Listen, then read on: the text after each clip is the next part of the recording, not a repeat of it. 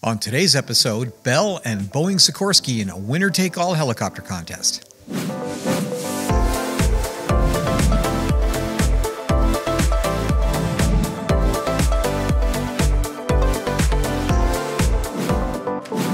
Today's episode is brought to you by Engineering.com, a globally trusted source for engineering content.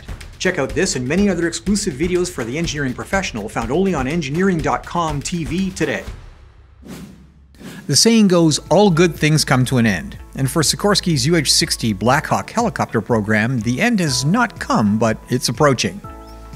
Now, one replacement for the versatile Black Hawk will arrive as part of the U.S. Army Future Long Range Assault Aircraft Program, initiated in 2019 to use new propulsion technology, materials, and airframe designs to build faster, longer range, higher payload aircraft with lower maintenance requirements and operating costs. That's a tall order, and the competition for the high volume medium lift requirement is boiled down to two aircraft the Bell V 280 Valor and the Sikorsky Boeing Defiant X. The program requirements, which are essentially more of everything compared to the already capable UH-60 series, required the companies to do more than redesign existing single-rotor helicopter platforms, and both teams have produced radically different designs. The Defiant X uses coaxial rotors and a pusher propeller to deliver fixed-wing cruise speeds with the vertical takeoff and landing capability of a helicopter. The V-280 Valor is entirely different, a tilt-rotor aircraft similar in concept to the V-22 Osprey currently in service.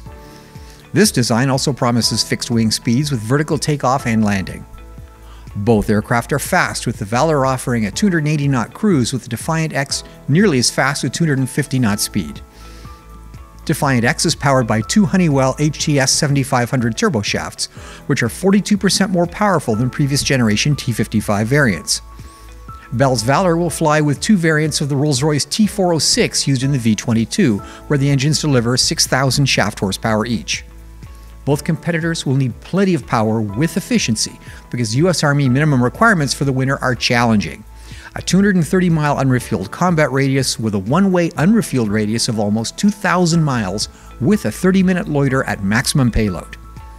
The Army wants a continuous cruise speed of 250 knots, and the cabin floor must withstand 300 pounds per square foot loading.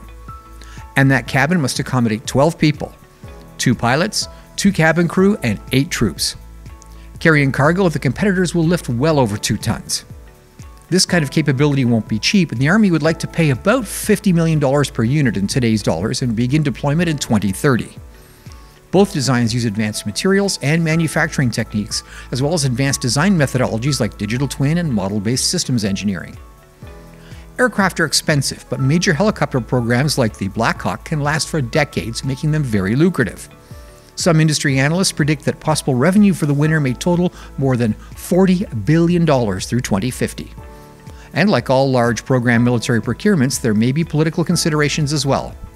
According to Douglas Harned, a Wall Street aerospace analyst and senior vice president of Bernstein, a Boeing Sikorsky win could lower Bell's ability to compete in future programs, although he notes that both aircraft appear to meet the program's specifications. Two radically different aircraft designs, each with unique advantages and capable of fulfilling the Army's difficult performance specifications.